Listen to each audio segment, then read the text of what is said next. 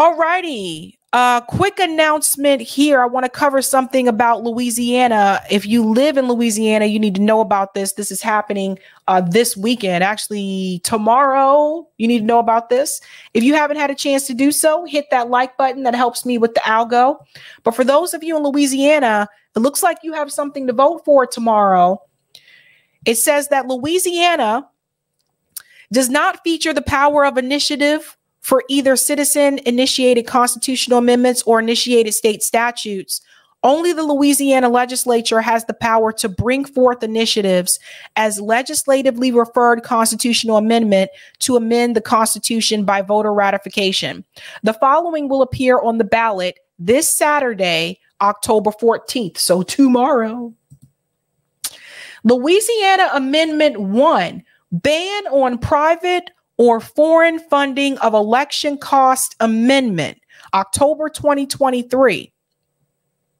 A yes vote supports prohibiting state and local governments from using funds, goods, and services donated by foreign governments or non governmental private sources for the purpose of conducting elections. What would this do? The amendment would prohibit funds, goods, and services donated by a foreign government or non governmental private source for use in conducting elections. Specifically, it would add a provision to the Louisiana Constitution stating that no funds, goods, or services donated by a foreign government or a non governmental source shall be used to conduct elections unless provided for in the election code and subject to restrictions provided by general law. A note here that Roger added we have a bill like this one. We have a bill like this that passed, but not the other close to New York Democracy Preservation Act. Don't know what the holdup is. Who's supporting this? State Representative Blake uh, Miguez, Miguez, uh, Association of Mature American Citizens, one of the organizations supporting it, Louisiana Freedom Caucus. Arguments this is from Andy Roth. The State Freedom Caucus Network has been working with Louisiana Freedom Caucus as well as the Election Integrity Network to build local awareness in Louisiana about this important amendment. It is crucial for election integrity in Louisiana to keep Zucker bucks and foreign money out of the realm of influence in America elections. Interesting. Uh, uh, oh, I have to go back in the TightVNC. Uh, it logged me out. Sorry.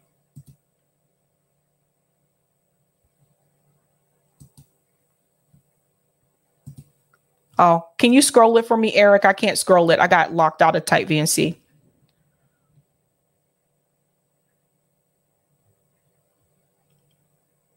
Oh, Eric disappeared. So maybe Oh, Eric got locked out too.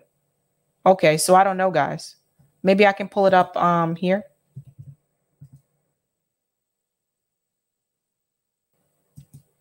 Um, sorry, guys. I have to. Uh, Eric might have lost connection. That's probably why TightVNC dropped out. Let me see if I got a message. Nope. Okay. Let me just pull it up from the Dropbox. Do, do, do, do, do. But that's for tomorrow for Louisiana. So just FYI for those of you that are there. Um, and I don't see this anywhere else in the folder, so I don't know. I could pull it from Twitter. Sorry.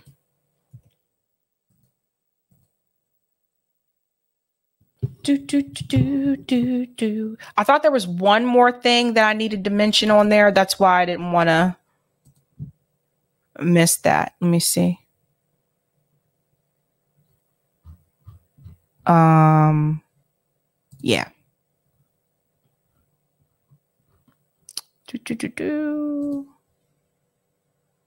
Okay, there we go. Okay come out here and I'll just share my screen. But like I said, I think I said most of it, but there's one more thing here that I did want to show. And that's um I thought there was one more part down here that you needed to see. Oh, there was no campaign mon- finance money spent for or against it. And then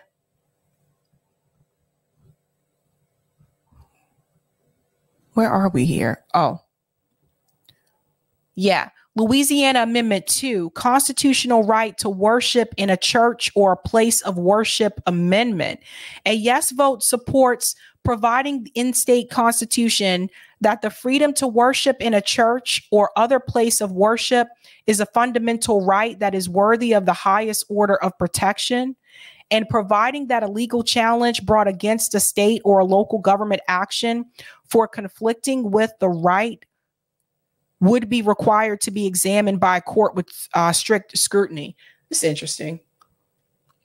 Um, one of the things that Roger added was is that this is a direct response to the mandated uh, lockdowns issued by Governor Edwards, where Ed- Edwards issued a stay at home order March 22nd, 2020, directing all Louisiana residents to shelter at home and limit movements outside of their homes beyond essential needs. On April 30th, 2020, government Governor Edwards extended his stay at a home order until May 15th, 2020.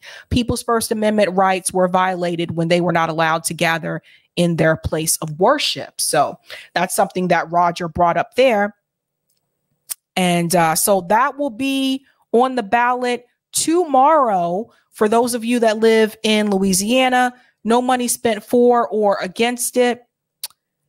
And then, wait, how many? I thought there were just two of these.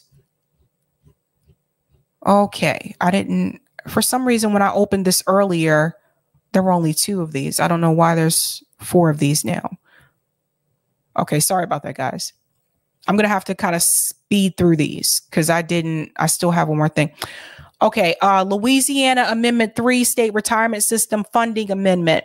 Uh, a yes vote supports requiring a minimum of 25% of state revenue that is designated as non recurring to be applied to the balance of the un- unfunded liability of the state retirement system. So that will also be on the ballot as well. And do, do, do, that's supported by Republicans. As you can see, no money spent to support or oppose. And the last one is uh, Louisiana Amendment 4 prohibit property tax exemptions for nonprofits owning damaged residential property.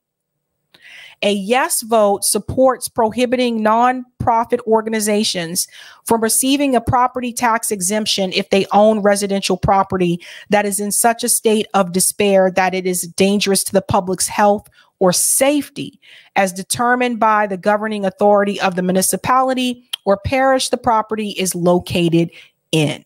So that's an interesting one. Prohibit property tax exemptions for nonprofits. And then I just want to say, because I have to kind of speed through this. Uh, one of the notes from Roger was nonprofit organization not being taxed exempt. You say that sounds like a Sabby special. Sabrina, did you write this?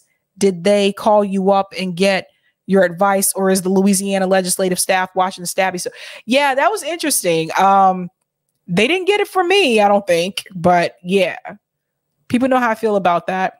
It's supported by uh, the Democratic Party and State Representative Gabe uh, Firment, who is Republican. So you have bipartisan support here. No money spent for or uh,